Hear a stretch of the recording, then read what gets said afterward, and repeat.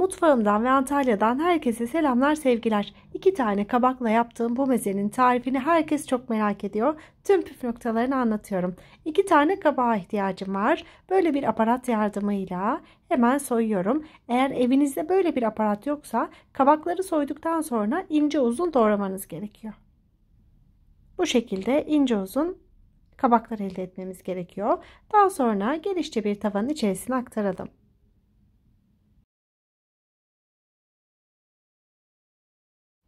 Soyulan kabakları rendenin büyük tarafıyla rendeleyelim. Hem çok pratik hem çok lezzetli özellikle et yemeklerinin yanına çok yakışacak bir tarif. Kabakları da rendeledim. Herhangi bir sıkma işleminden geçirmedim. Dilerseniz kabakları biraz sıkabilirsiniz suyunu. Yine genişçe bir tavanın içerisine aktarıyorum. Üzerine şöyle göz kararı yani 2-3 yemek kaşığı olabilir. Zeytinyağı ekliyorum. Biraz tuz ekleyeceğim.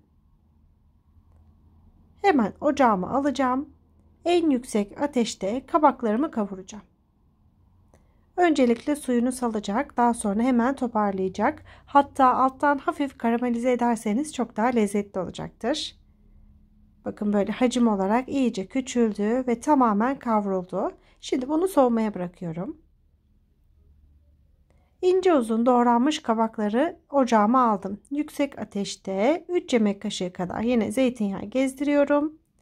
1 tatlı kaşığı kuru nane ve şöyle küçük bir kase irice doğranmış ceviz ilavesini yapıyorum. Bu aşamada tuz eklemiyorum. Çünkü bu kabakların hafif böyle çıtır çıtır kalması gerekiyor. Bu şekilde kavrulduktan sonra yeniden kabağı soğumaya bırakıyorum. Biz bu arada sosunu hazırlayalım. 1 su bardağı süzme yoğurt, 2 diş sarımsak. Çok az miktarda tuz kullanacağım. Kabakların üzerine tuz eklediyseniz bu aşamada lütfen kontrollü ekleyin. Yoksa çok tuzlu bir e, meze elde edebilirsiniz. Küçük bir demet ince ince doğramış olduğum dereotu.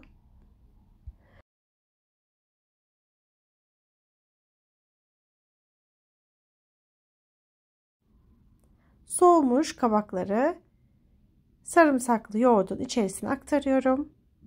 Güzelce karıştıracağım. Ve mezem neredeyse hazırlanmak üzere.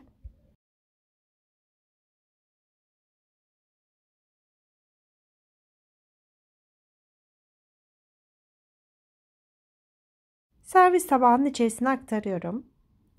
Sizlerle ilk defa bu video ile karşılaşıyorsak ben Emel. Videolarımı, tariflerimi size Antalya'dan hazırlıyorum. Videoyu bu aşamaya kadar izlediğiniz için her birinize de ayrı ayrı teşekkür ediyorum. Servis tabağının içerisine şöyle güzelce yaydıralım.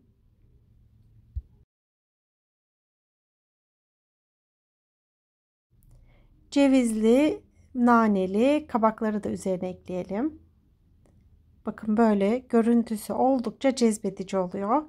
Kabak mevsimi iken yaz bitmeden bu tarifi lütfen uygulayın. Eminim çok seveceksiniz. Sunumu zaten öyle güzel oluyor ki görüntüsünü gören herkes tarifini istiyor. Üzerine çok az miktarda zeytinyağı gezdireceğim. Hem böyle parlaklık versin hem de daha güzel görünsün istiyorum.